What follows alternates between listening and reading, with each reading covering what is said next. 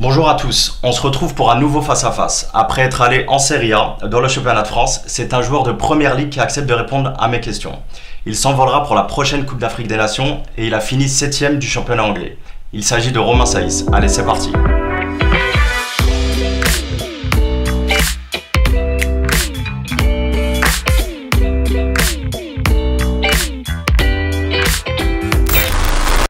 Romain, comment ça va Salut, ça va et toi Bah ça va, super. Je suis content de te recevoir aujourd'hui. Je t'ai cherché partout sur les réseaux et j'ai pas réussi. longtemps. Bah j'ai pas réussi à te trouver justement. J'ai tapé Romain Saïs et je t'ai trouvé nulle part sur les réseaux sociaux. Comment ça se fait Bah, j'ai pas de. J'ai pas, pas de réseaux sociaux. euh, c'est pas des choses qui m'ont qui m'ont réellement intéressé. Euh, donc, euh, j'y ai jamais porté vraiment d'intérêt. Euh, voilà, c'est aussi une, façon de se, se protéger aussi euh, d'une certaine manière. Où, voilà, quand ben, t'es au foot, euh, t'es au foot, et puis quand tu rentres chez toi, t'es à la maison, donc tu te, consacres à la famille, et puis, puis, puis aux amis. Donc, euh, j'ai pas, pas envie d'être pollué par tout ça dans ma vie. surtout quand ça se passe un peu moins bien. On sait que quand ça se passe bien, c'est toujours plaisant de recevoir de- des compliments, mais quand c'est moins bien, après, euh, il y en a qui les supportent pas, donc c'est aussi une façon de se, de se protéger de tout ça. Parce que tu sais qu'avant de t'interviewer, un follower me disait tu sais que tu as de la chance parce que tu vas aller interviewer le joueur marocain préféré des Marocains. Comment tu le prends ce genre de, de remarque Non, bah ça fait plaisir. Après, je pense que il y a d'autres Marocains qui ont d'autres joueurs préférés, mais après, voilà, euh, je pense que les, gens ils m'apprécient, bah voilà, parce que ben je suis assez discret dans la vie de ce côté-là. Euh, J'expose pas ma vie privée. euh, je me consacre uniquement au foot et quand je joue en sélection. euh, J'essaye de, de donner le maximum sur, sur le terrain pour le Maroc. Et je me préoccupe pas de, de tout ça parce que ouais, voilà, j'ai des coéquipiers qui sont assez actifs et que je- ils me font lire de temps en temps les messages qu'ils peuvent recevoir, surtout quand ça, ça se passe un peu moins bien. Donc, euh, moi, d'un côté de ce coup-là, j'ai pas de problème avec ça. Donc, euh, Donc on est d'accord, le débat il est clos. ouais, il est Pas de clos. Romain Saïs euh, sur les réseaux sociaux. Je sais qu'il y a euh, beaucoup de personnes qui, qui pensent que j'ai des, Euh, Instagram, Twitter ou Facebook, mais c'est pas moi. Euh, J'avais fait un démenti il y a pas, pas très longtemps de ça par le biais d'une vidéo.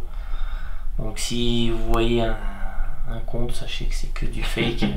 c'est pas moi et c'est pas ma tasse de thé. Donc actuellement, tu es un joueur de Wolverhampton en première ligue.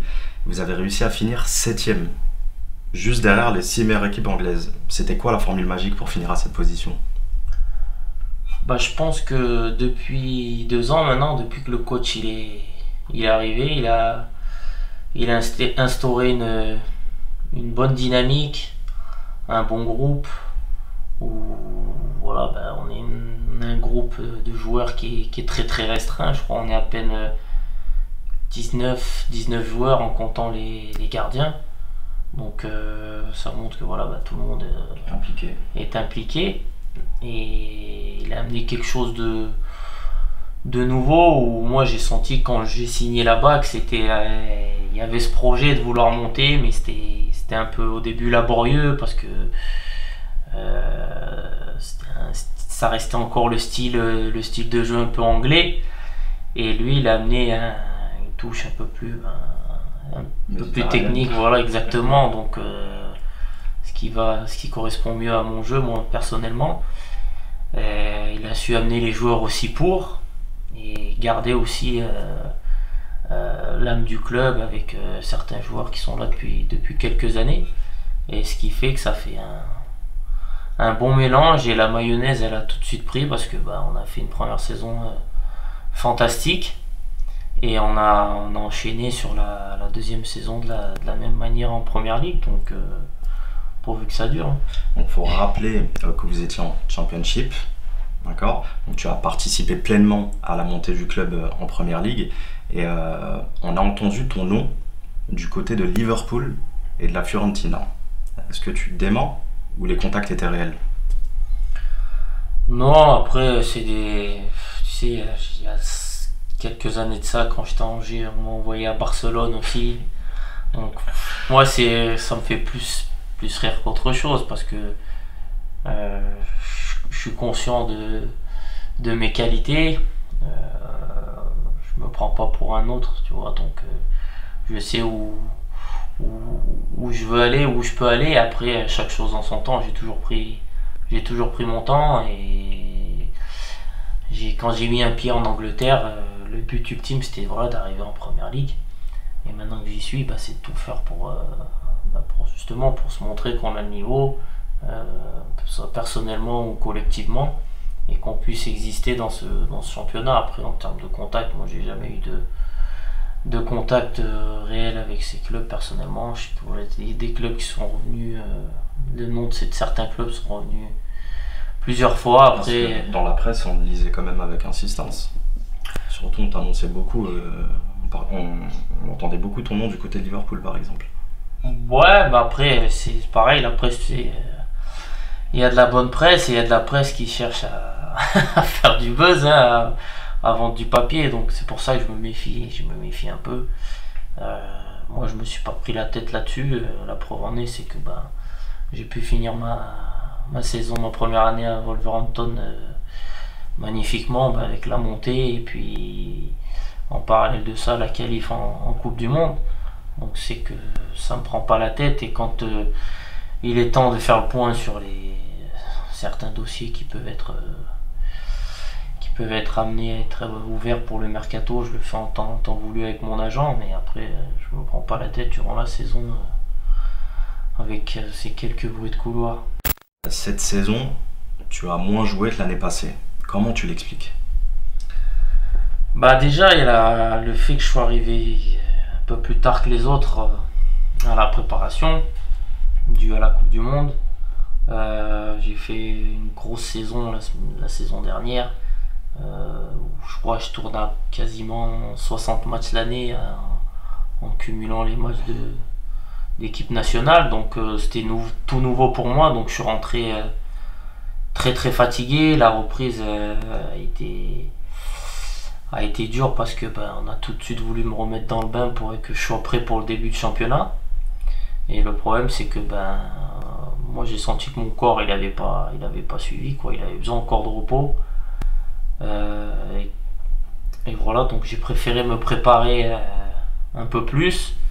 Et pendant ce temps-là, l'équipe a, a, bien tourné aussi au, début de saison. Donc euh, j'ai dû patienter pendant, pendant longtemps d'avoir ma chance. Et après, quand j'ai su saisir ma chance, voilà, le coach il a vu qu'il pouvait toujours me, faire confiance et que j'allais répondre présent. Après, c'est sûr que c'est c'est dur quand on a fait une saison comme ça, euh, la saison dernière, et qu'on a grandement participé à la montée du club, de se retrouver pendant euh, des semaines sur le banc sans pouvoir entrer. Donc, euh, Et en plus de tout ça, j'ai j'ai été regarder les matchs où tu as joué, titulaire, j'ai regardé tes notes, tu as à chaque fois été bien noté. Donc, quand on joue et qu'on livre une belle prestation, et que le match d'après, bon, bah, on voit qu'il y a un turnover et qu'on ne joue pas Comment tu vis euh, ces moments-là? Ah bon, forcément, c'est frustrant. C'est très énervant parce que tu te retrouves à enchaîner euh, des bons matchs, euh, notamment contre bah, les, clubs du, du, Big Six maintenant. Et à des moments donnés, tu as l'impression que tu es un peu coupé dans, le, dans ton élan parce que tu as déjà patienté pour pour avoir ta chance. Quand tu l'as, tu arrives à, à montrer et à t'imposer. Et euh, bah, des fois, on te, on t'enlève la. On te coupe dans ton élan. Donc c'est sûr que c'est dur, à, c'est dur à, gérer, à accepter de temps en temps, c'est normal parce que euh, le mec qui est dans cette situation et qu'il il va sur le banc avec le sourire, euh, je pense qu'il a, c'est pas un compétiteur, il a rien à, faire dans le foot. Et moi, ça, c'est des choses qui m'ont qui m'ont affecté euh, parce que j'ai envie de jouer et quand je montre que, que je suis performant, j'ai envie de rester sur le terrain donc j'ai besoin de sentir une certaine confiance aussi. Après voilà, il y a des choix qu'il faut accepter. Hein. De toute façon, On n'a pas le choix, c'est le coach qui fait ses décisions, qui, prend ses responsabilités. Donc nous, après, il faut penser aussi au, au bien de l'équipe. Mais c'est sûr que personnellement, il y a des moments, c'était pas facile et c'était dur à accepter. Forcément, la fameuse question, j'ai envie de connaître tes envies. Où sera Romain Saïs en 2019-2020 bah, Pour l'instant, il sera Wolverhampton. Pour l'instant. Après, voilà, moi, après cette saison, ça a été une saison très très compliquée euh, émotionnellement. C'était, des fois, c'était, comme je t'ai dit, c'était dur à gérer. Parce que tu as, un ressenti où, où tu as, l'impression que tu as moins de, de considération qu'auparavant. Et surtout après ce que tu as fait. Après, certes, c'est vrai que tu as toujours. Euh, faut toujours se remettre en question, il n'y a pas de, souci là-dessus, ça je suis le premier à dire, c'est pas parce que tu as été performant euh, un certain laps de temps que tout est acquis, justement, non. Après, voilà, moi je pense avoir, avoir montré que j'ai que j'ai le niveau pour jouer en première ligue dans ce club. Donc après, c'est de savoir aussi le club, euh, des intentions réelles, euh, du coach aussi, de savoir ce qui, ce qui, ce qui compte faire exactement. Moi, j'aime bien que les choses soient claires, tu vois. T'as pas encore eu de discussion avec l'entraîneur à ce jour Non, moi je préfère que les choses soient claires, qu'on me dise écoute, je compte sur toi, il n'y a pas de problème. Euh, voilà, ou alors, bah, écoute, moi, t'es pas dans mes premiers choix, mais il va falloir que tu te battes pour ta place, mais au moins les choses sont claires. Et après, c'est à toi de jouer. Donc j'ai besoin de savoir ça parce que j'aime pas trop naviguer dans le flou, moi. J'aime quand c'est assez carré. Donc après, on verra à la reprise. On va, déjà faire se consacrer à la canne. Et après, on verra à la reprise euh, ce qu'il en est pour, pour mon club. Pour revenir sur le championnat anglais, est-ce que tu pourrais nous le décrire?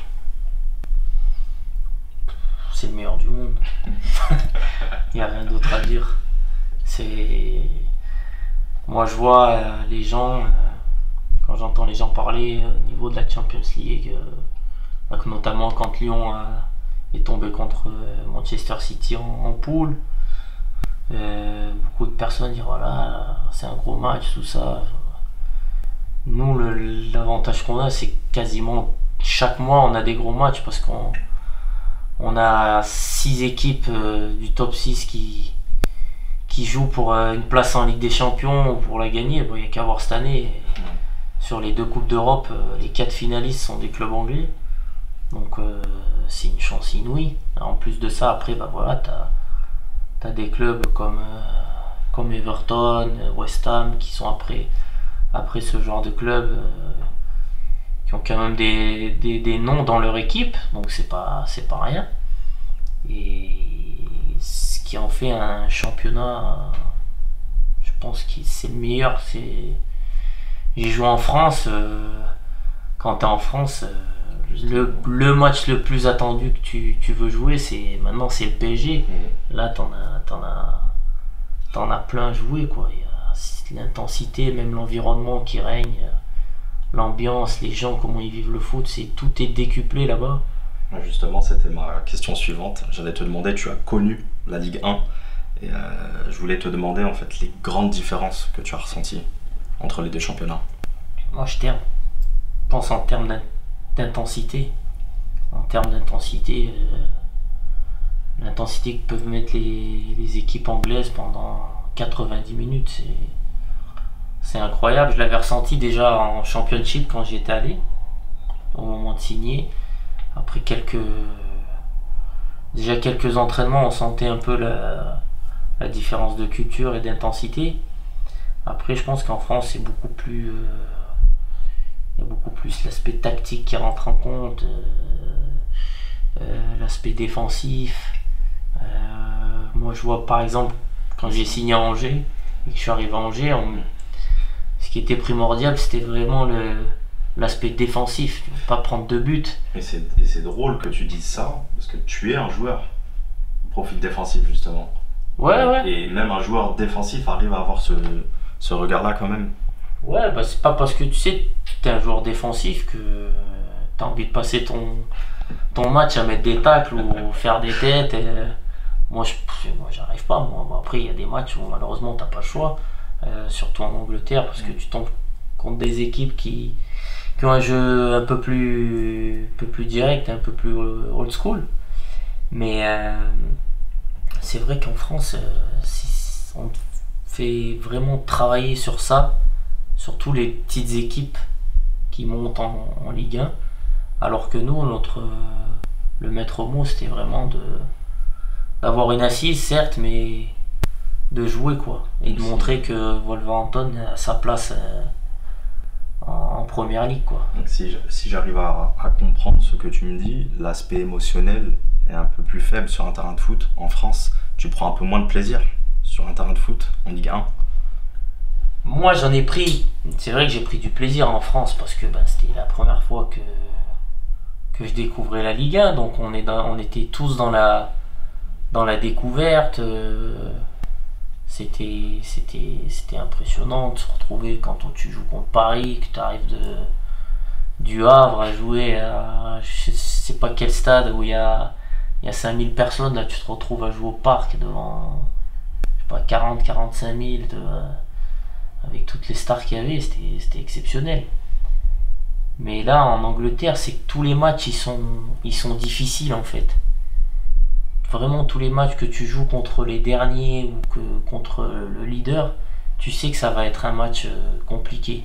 J'ai pas vu un match euh, vraiment facile à jouer où on s'est dit, bon, on va jouer le match, euh, ça va aller quoi. Alors que je pense que quand j'étais en France, au fil des matchs, tu arrives à prendre confiance et, tu dis qu'il y a des matchs que tu arrives au match, tu dis bon ben ça va aller aujourd'hui.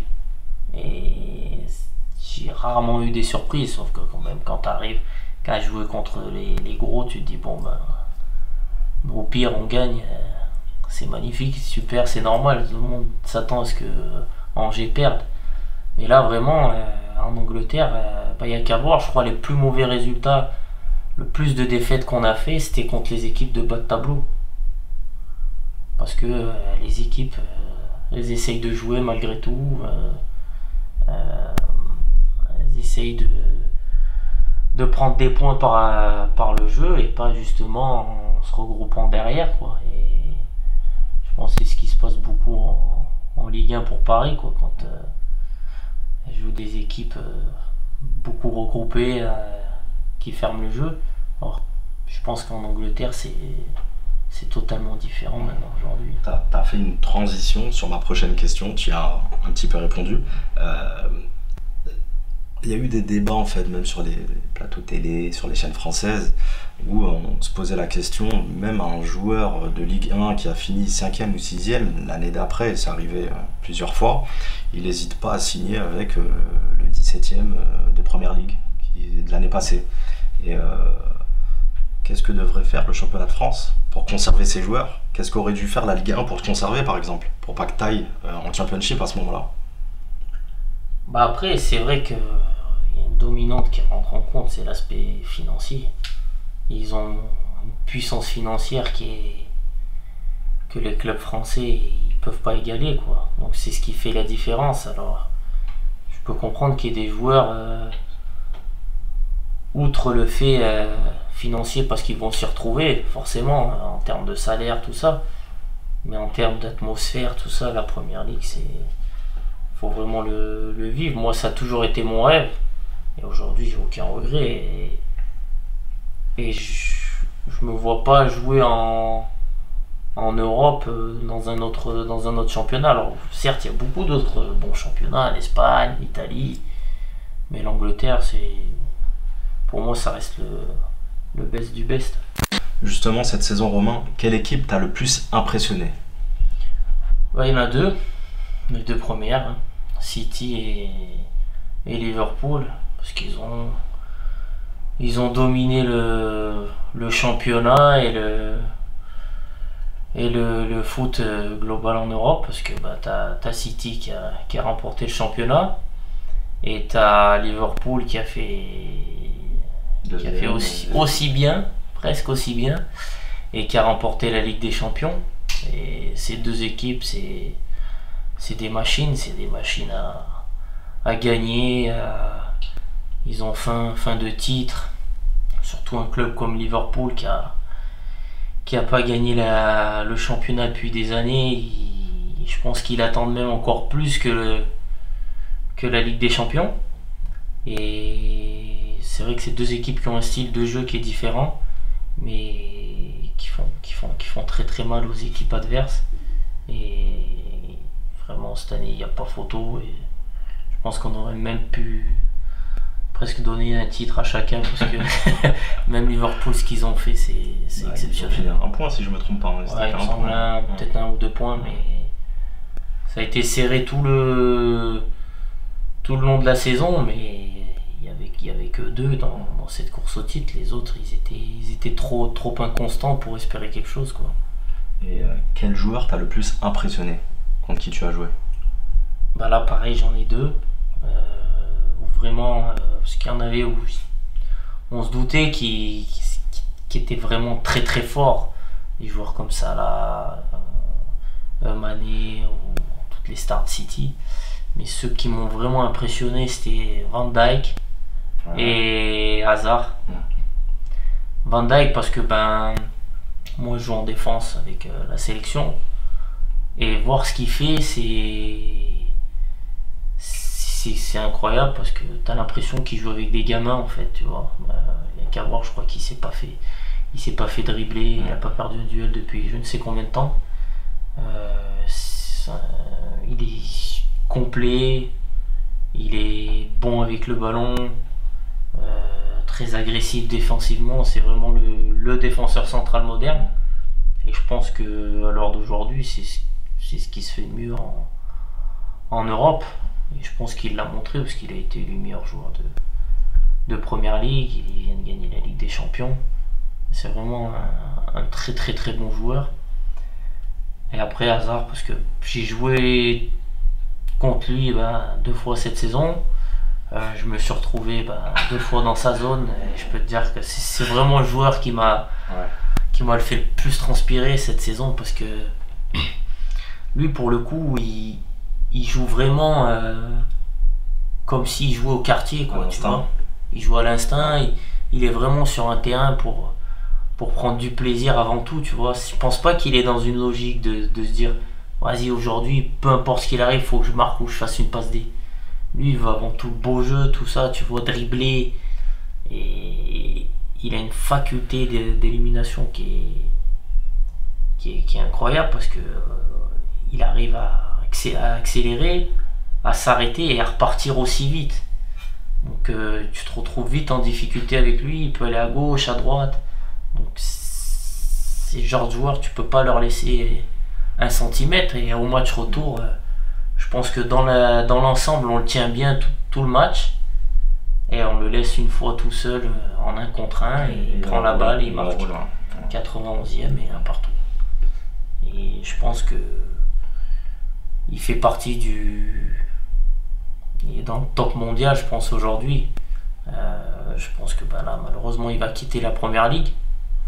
Euh, et je pense qu'il fera peut-être beaucoup, beaucoup, beaucoup de bien au, Real s'il part là-bas ou ailleurs. Mais c'est vraiment un joueur qui m'a impressionné. On voyait déjà en France euh, les qualités qu'il avait. Mais là, elles sont, démultipliées. C'est vraiment quelqu'un de, il est imprévisible en fait. Donc quand tu es défenseur, c'est très très très difficile. Aujourd'hui, tu vis autour de Wolverhampton. Qu'est-ce que tu fais quand tu vas pas au foot?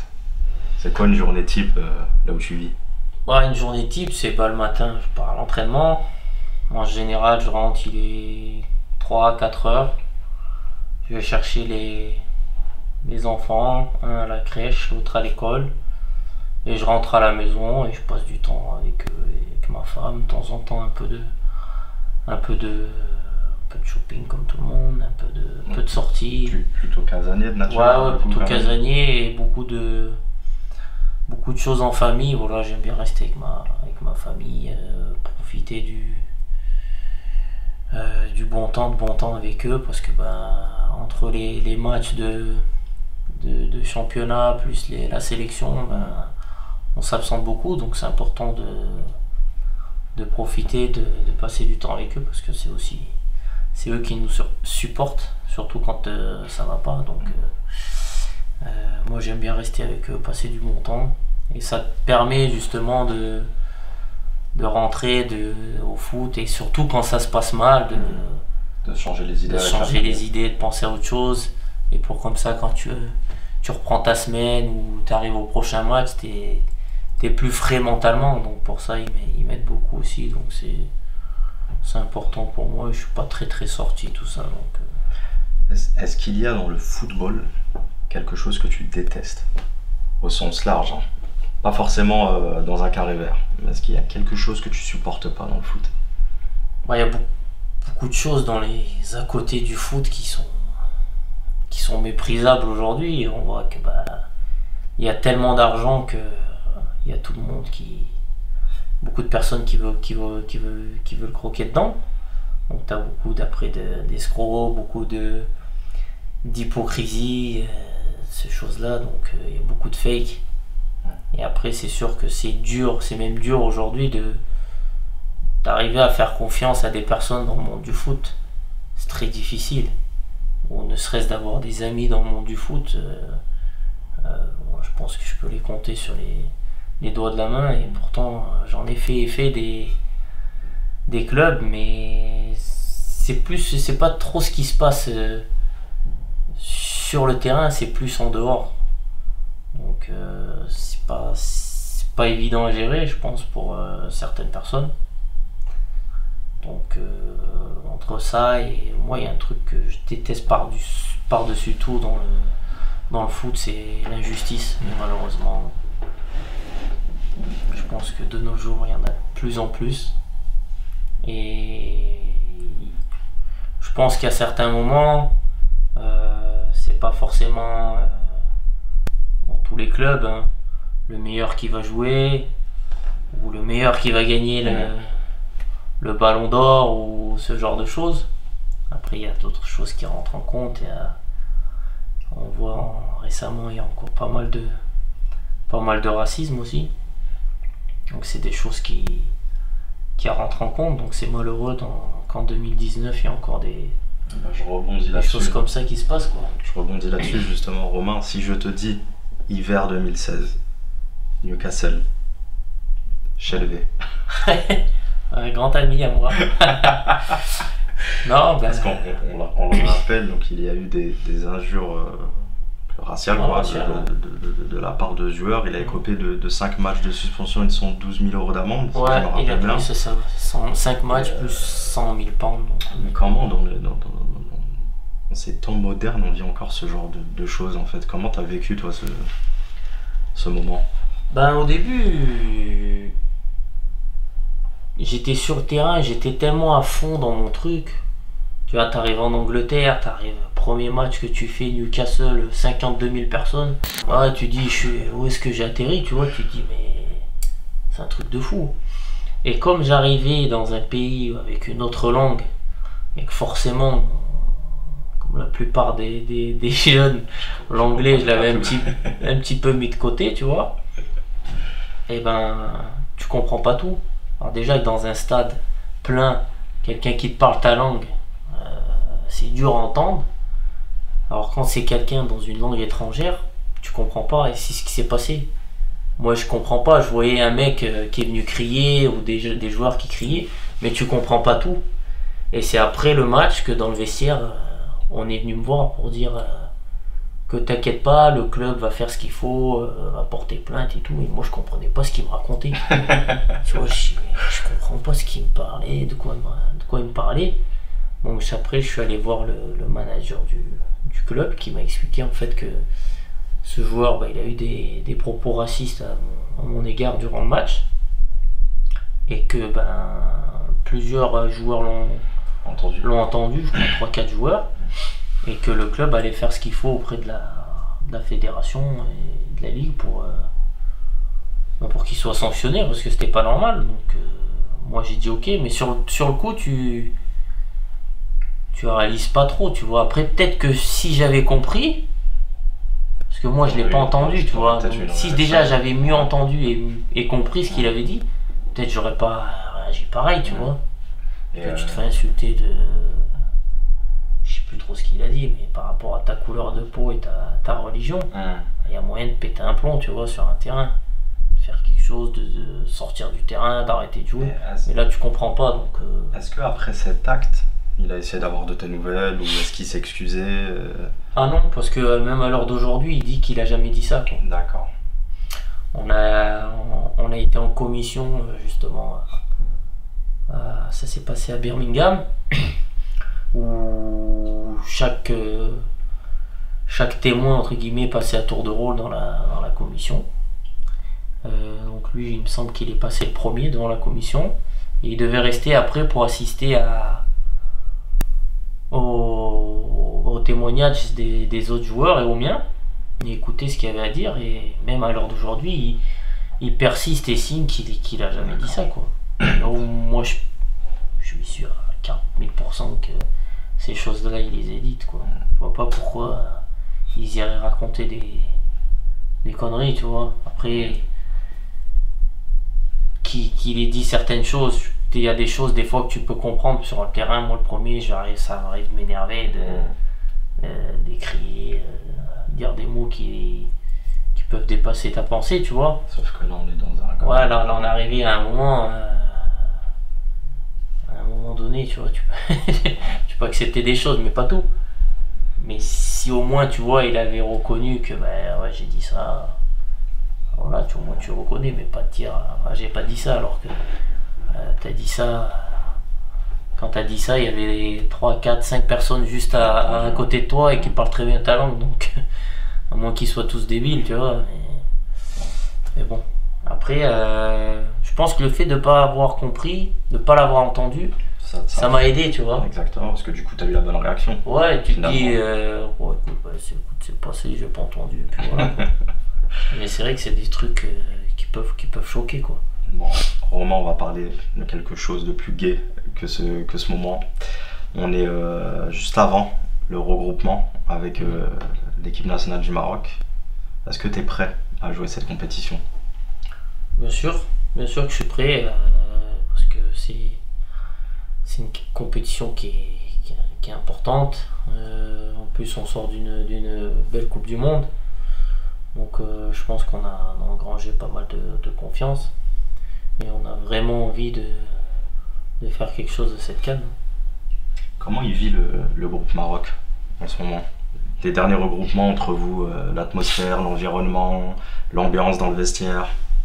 Non, il vit très bien depuis, depuis quelques années. Maintenant, c'est, c'est, c'est de la bombe d'aller en sélection, tu vois. C'est, c'est euh, un une esprit d'équipe. fierté, j'imagine. Ouais, c'est une fierté déjà pour euh, parce que tu représentes ton pays, tu vois. Donc euh, tu vois juste quand tu arrives que les gens ils te reconnaissent, tu vois, ils sont super contents, ils sont super fiers, tu vois. Donc déjà ça c'est une fierté. Mais on est tous heureux de se retrouver, tu vois. Quand la sélection ça approche, on est on est limite impatient d'y aller parce que on s'entend tous vraiment bien, on a un esprit d'équipe qui est qui est remarquable et après ça se ressent naturellement sur le terrain parce que chacun a envie de se taper pour, euh, pour le mec qui est à côté, tu vois. Donc euh, ça facilite les choses et moi c'est que c'est que de la rigolade à chaque fois. J'ai encore tout un tas de questions à te poser justement sur euh, l'équipe nationale du Maroc, sur la Coupe d'Afrique des Nations en Égypte. Mais la première partie, elle prend fin. Donc euh, je vous invite tous, euh, du coup, à, comme d'habitude, à commenter, à liker, à partager. N'hésitez pas. Donc c'est la fin de la première partie de mon entretien avec, avec Romain. Et n'hésitez pas à regarder la deuxième. Je vous remercie.